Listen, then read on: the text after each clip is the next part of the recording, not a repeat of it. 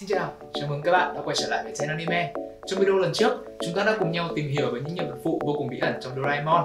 Nhưng tớ cảm thấy như vậy là chưa đủ, vậy nên video ngày hôm nay sẽ là phần 2 nhé. Chúng ta sẽ cùng nhau trả lời những câu hỏi vô cùng bí mật. Đó là Sunichigu có phải là em ruột của Sunio hay không? Và nữ thần tượng Sumire là ai? Cùng bắt đầu ngay thôi nào. Wait a minute. Trước giờ các cậu thường xem anime ở đâu thế? Phim moi à? Yêu anime, yêu tác giả mà lại xem chui, xem lậu, thế là dở rồi. Ủa, rồi giờ vừa muốn xem miễn phí lại có bản quyền, Full HD không che, ai mà chịu được? Sợi, chỉ sợ các cậu sinh hư thôi, chỉ Pops anime chịu được ngay. Từ những bộ anime huyền thoại như là One Piece, Conan, cho đến những tân binh như là Thanh Gươm Dịch Quỷ, Học viện Anh Hùng, tất cả đều được mua bản quyền, Việt sắp và đặc biệt chiếm miễn phí nha. Chìm đắm trong thế giới game với Overlord hay ngủ lặn trong ngôn tình với con đường mùa xuân. Bên cạnh anime, Pops còn có đa dạng các bộ moving tool vô cùng thú vị. Các nàng tha hồ mà tít mắt với vạn trang chiều hoàng nhá. Ai mà bị cận không muốn đọc nhiều thì xem mấy cái này chuẩn bài luôn. Tuy Pops anime chưa có nhiều bộ, thể loại cũng chưa đa dạng, nhưng đừng lo, sắp tới Pops sẽ có rất nhiều thứ hay ho cho chúng mình đó. Đầu tháng 11 này, phần 2 của Overlord và Học viện Anh Hùng sẽ lên sóng. À, còn Akamega Kill, Doctor Stone nữa. Nhớ đăng ký Pops anime tại đóng miễn phí nha.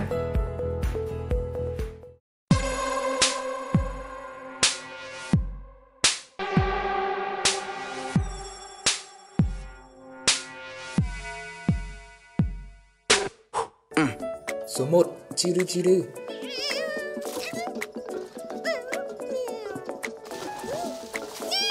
Chiru Chiru là con mèo cưng của nhà Sunio. Theo lời của Sunio thì Chiru Chiru là con mèo đực, mang huyết thống hoàng gia, thuộc giống mèo ba tư quyền quý. Nó thông minh, nhanh nhẹn, mặt mũi sáng ngời, dáng vẻ sang trọng, tính huynh hoang, thích làm màu. Nói chung là giống hệt công chủ của nó. Đôi nét về ngoại hình, con mèo này có bộ lông pha trộn giữa màu ngọc lam và màu hoa oải hương, khá giống màu xám nhưng sang chảnh hơn, cái mỏ không lẫn vào đâu được. Bố, mẹ, Sunio mỏ nhọn thì đã đành, giờ lại có cả con mèo mỏ nhọn luôn, khó hiểu thật. Nhưng mà công nhận là cái mỏ thương hiệu thật.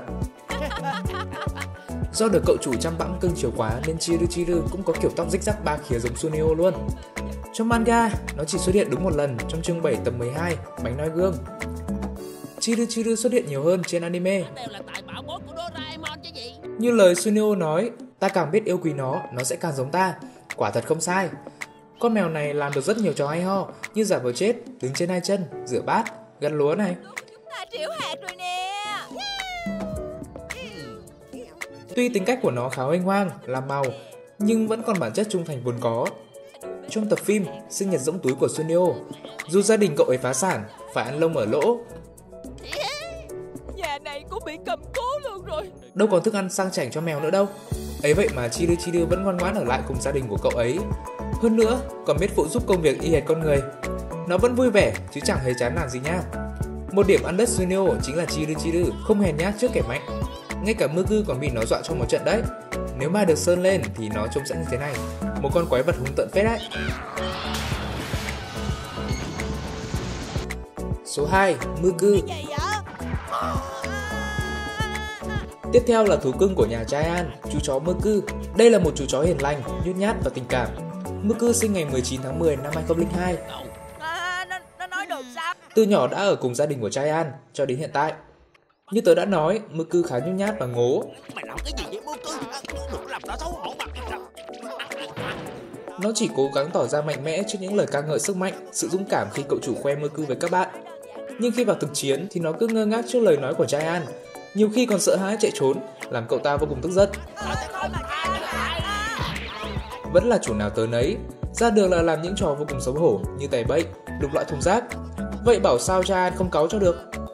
Ở cùng với Giant, Mơ Cư chịu rất nhiều thiệt thòi. Mình phải kêu mèo mèo như mèo rồi còn phải kể chuyện cười cho cậu ấy nghe nữa Thiệt là quá vô lý Một con chó như mình đây làm sao mà kêu mèo mèo hay kể chuyện cười được chứ A few moments later. Ai muốn lấy cũng được sao Mơ Cư rất thèm ăn thức ăn cho chó, nhưng ngày nào cũng phải ăn cơm thừa canh cạn. Hay trong tập phim Mơ Cư, con chó xấu xa. Giant chỉ vì xấu hổ với bạn bè mà bỏ mặc Mơ Cư. Dù bị đối xử như vậy, nhưng Mơ Cư vẫn luôn nhìn cậu chủ của mình bằng những cảm xúc của những kỷ niệm từ ngày thơ bé. Nhưng nói gì thì nói thì mình vẫn thích Giant Vì cậu ấy đã chăm sóc cho mình từ khi mình còn rất nhỏ Con người có thể thay đổi, nhưng lòng trung thành của vật nuôi vẫn còn đó. Nó vẫn hết mực yêu thương Cheyenne, sẵn sàng liều mạng với sư tử mà không hề đắn đo dù chỉ một giây. Và cũng từ những khó khăn đó, cả hai đã hiểu nhau hơn và sống bên nhau trọn đời. Hết phim. Số 3. Tsunetsugu Honekawa Chắc hẳn các cậu đang mong chúng tớ tìm hiểu về nhân vật này lắm đúng không nào? Tớ cũng rất yêu thích cậu nhóc này. Đây giống như một phiên bản Sunio nhưng không lươn lẹo ấy. Tsunetsugu là em ruột của Sunio, tức là Sunio không phải là con một nha. Cậu nhóc này khoảng 7 đến 8 tuổi, từ nhỏ đã được bác ruột nhận làm con nuôi do bác ấy sống độc thân. Tsunetsugu hiện đang sống trong một căn nhà vô cùng sang trọng, có máy bay riêng ở New York, giàu hơn nhà Sunio rất nhiều. Cả hai anh em vẫn thường giữ liên lạc với nhau qua những bức thư. Với bản chất ngây thơ, hiền lành của mình, Tsunetsugu vô cùng tin vào những lời khoe khoang của Sunio, coi Sunio là người anh trai lý tưởng và muốn được giỏi giang như anh ấy trong tương lai. À, đúng rồi, em rất là thích. Em rất kính trọng anh ấy. Em sẽ cố gắng nhiều hơn nữa để có thể được như anh ấy. Có một phân cảnh mà cả ba mẹ con cùng đứng bên nhau, nhưng mẹ Sunio không nói chuyện gì với cậu nhóc, nên tớ thật sự rất phân vân về mối quan hệ giữa họ. Liệu đây có phải là con ruột của gia đình Honekawa không? Hay chỉ là bà con họ hàng? Tớ xin phép được trích dẫn một giả thuyết như sau. Trong sự thật về gia đình Nobi, vốn nổi tiếng là một cuốn sách bí ẩn về Doraemon, có suy luận cho rằng việc để Sunetsuku làm con nuôi không hề đơn giản một chút nào. Nhà Honekawa để Sunetsuku cho người họ hàng giàu có hơn, địa vị chính trị cao hơn nhận nuôi để đổi lại sự sủng ái về quan hệ và tài chính. Bố Sunio đi công tác nước ngoài rất nhiều, nhưng chưa bao giờ thấy ông ấy nói về việc có gặp Tsunetsugu hay không. Dù sao với một gia đình như nhà Honekawa, những người luôn đặt vật chất lên đầu tiên, điều đó hoàn toàn là có thể. Các cậu nghĩ sao về câu chuyện này? Hãy comment ở bên dưới để tớ biết ý kiến nhé. Nhà mình vốn rất giàu có nhưng thật sự nhà bác mình còn giàu khủng hơn nữa đó Số 4. Sumire Hoshino Ojime, dạ tôi cũng không có ý định sẽ lấy bất cứ ai. Nhân vật tiếp theo là một cô ca sĩ nổi tiếng, thần tượng của mèo ú, Sumire Hoshino. Sumire là một nữ thần tượng xinh đẹp, nhân vật chính trong Perman với tên gọi là Perko và là Camel trong Doraemon. Khi ở Perman, cô khoảng 11 tuổi, còn trong Doraemon, cô xuất hiện như một nữ ngôi sao trưởng thành ở tuổi đôi mươi. Không ngờ được ngồi cạnh chị Sumire Sumire và ông Kaminari đóng vai trò như những nhân vật kết nối các vũ trụ truyện tranh với nhau, Perman, Doraemon, Obake Quintaro.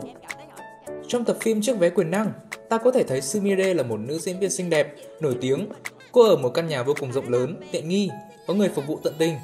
Tụi em là ai mà lại vào đây? Có súng đây nè Tuy đứng trên đỉnh cao của danh vọng, nhưng điều đó khiến cô từ một người thân thiện, tích cực trở nên vô cùng áp lực và khó chịu. Vậy nên một cuộc bỏ trốn đã diễn ra, ngay giữa ngã ba đó cô đã gặp Nobita. Một người thấu hiểu được những cảm xúc của cô, một người biết lắng nghe và chia sẻ. Sumire không ngần ngại kể về những khó khăn của mình cho cậu nhóc nghe, và cô cũng tiết lộ người đàn ông của đời mình. Các cậu đoán xem đây là ai? Đó chính là Suwa Mitsuo, Perman đấy. Không chỉ Nobita, mèo ú cũng rất hâm mộ Sumire. Cậu ta dán rất nhiều poster trên tủ tường nơi cậu ấy ngủ. Đây, các cậu xem này. Ngoài Sumire, trong Doraemon còn có một nữ thần tượng khác là Ito Tsubasa. Nếu video này được 100k view thì chúng ta có thể làm phần 3 nha, he he. Và đó là phần 2 của những vai phụ bí ẩn trong Doraemon. Các cậu cảm thấy video này như thế nào?